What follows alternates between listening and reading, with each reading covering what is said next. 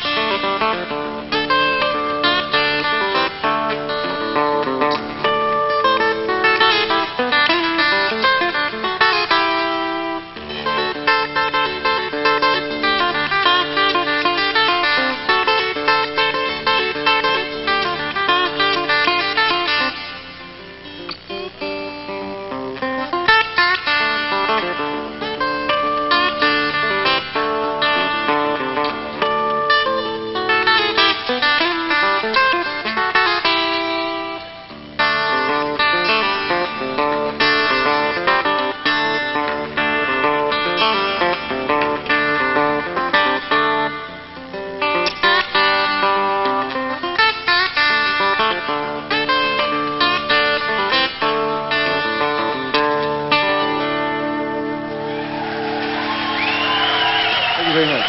Thank you. Thank you.